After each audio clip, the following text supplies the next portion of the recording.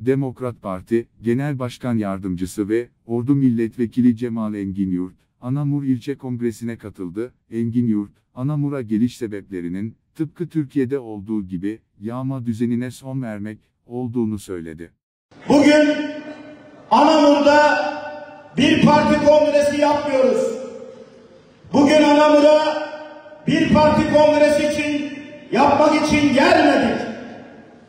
Bugün Anamur'a tıpkı Allah birlikte nasıl ki Anadolu'yu karış karış geziyorsak bugün Anadolu'ya Anamur'a gelişimizin sebebi 20 yıllık Moğol istilasından daha beter yağma düzenine son vermek içindir. 20 yıldır başımızda öyle bir iktidar var ki soygun,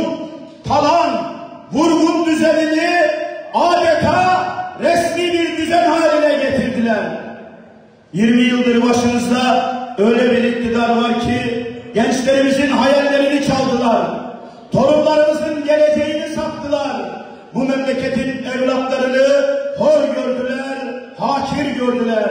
Cumhuriyetin çocuklarına adeta yetim evlat muamelesi yaptılar. Ve biz bugün tekrar anamında bir aradaysak bunun yegane sebebi 7 Ocak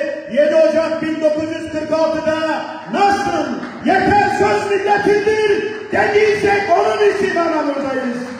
Artık yeter söz milletindir deme zamanı gelmiş geçmektedir.